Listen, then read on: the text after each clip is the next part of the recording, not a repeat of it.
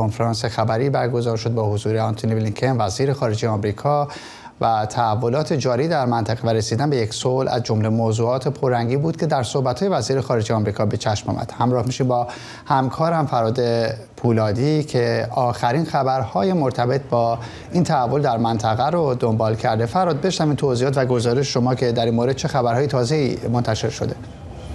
خب آنتونی بلینکن وزیر امور خارجه آمریکا که در پایان اجلاس دو روزه وزرای خارجه گروه هفت به میزبانی ایتالیا شرکت داشت. همونجوری که گفتی در این نشست خبری به مسائل مختلفی از جمله اون چیزی که در خاورمیانه میگذره درگیری های خاورمیانه اشاره داشتش. ابتداعا صحبتی که داشتش مروری به رؤوس مطالبی که در رابطه با این گروه هفت در گزارش نهاییشون بهش اشاره داشتن صحبت کرد که به جمهوری اسلامی که رسید از اون مسائلی که با در اون بیانیه آمده از جمله حقوق بشر از جمله دخالت های جمهوری اسلامی در منطقه مسئله هسته ایش رو برگزید و گفتش که گروه هفت مصمم هستش که هیچگاه به جمهوری اسلامی اجازه نخواهد داد که به سلاح هسته دست پیدا کنه. آنتونی بلینکن در ادامه صحبتاش در مورد خاورمیانه و بعدم بگم که این آخرین سفر آنتونی بلینکن وزیر امور خارجه آمریکاست چون کمتر از هفت هفته دیگه دولت بایدن به تمام به پایان کارش می‌رسه. و مسئله درگیری در منطقه اشاره کرد بیشتر تمرکزش رو گذاشت روی مسئله لبنان و اینکه قریب الوقوع بودن دستیابی به یک آتش بس بین حزب الله لبنان که طرف و یا لبنان از یک طرف اسرائیل این بهش اشاره کرد گفت در مراحل نهایی هستش ولی وارد جزئیات توافق نشد. گفتش که دستیابی به این توافق کمک خواهد کرد به درگیری دیگری که تقریبا یک و نیم سال از اون میگذره. یعنی حمله تلافی جنایان اسرائیل به حماس دیگر گروه مورد حمایت جمهوری اسلامی بابت حملاتی که حماس انجام داد علیه اسرائیل. گفتش که این موجب پایان اون درگیری هم خواهد شد و همچنین اشاره داشتش که گروه هفت صحبت کردن درباره آنچه که بعد از این پایان درگیری ها در منطقه رخ خواهد داد.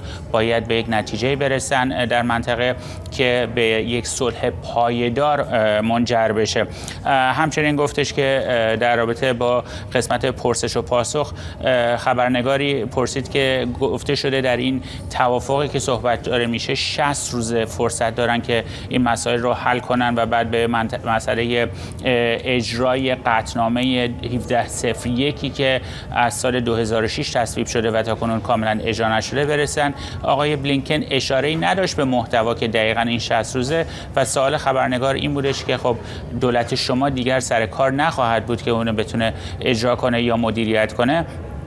که آقای بلینکن گفتش که ما مشاورات نزدیک و تنگ و تنگی با گروه و تیم که قرار وزارت امور خارجه رو اداره کنه انجام میدیم. از جمله اسمی که برد سناتور مارکو روبیو هستش. سناتور مارکو روبیو به پیشنهاد رئیس جمهور منتخب دونالد ترامپ قرار وزیر امور خارجه آمریکا بشه. گفتش که ما این هماهنگی ها رو داریم انجام میدیم که این گروه با دست پر بتونه پای میز مذاکره بشینه. و گفتش که تمامی اهدافی که اسرائیل به دنبالش بوده در غزه رو به, محقق کرده و زمان اون هستش که اونجا هم به توافق آتش بسی برسن و گفتش که ما همواره حمایتمون رو از اسرائیل خواهیم داشت در هر صورت چه در مورد حماس و چه در مورد حزب الله لبنان و ما اجازه نمیدیم که کمک خواهیم کرد که اسرائیل در برابر حملاتی که در 17 7 اکتبر انجام شد رو بتونه پاسخ بده و همچنین ما توانستیم با مدیریتمون جلوی گسترش این درگیری رو در سراسر منطقه بگیریم باز هم یک خبرنگار دیگر اصراری داشتش در رابطه با محتوای.